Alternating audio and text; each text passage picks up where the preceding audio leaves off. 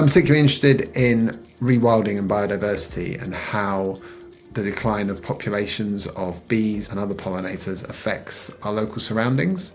So we've been working on a project to create a rewilding tool that increases wildflower planting and improves biodiversity using a whole range of things like artificial intelligence, location tracking. So we're hoping that the result of this project will be that people plant more wildflower seeds and also gain a better understanding of what their local environment is.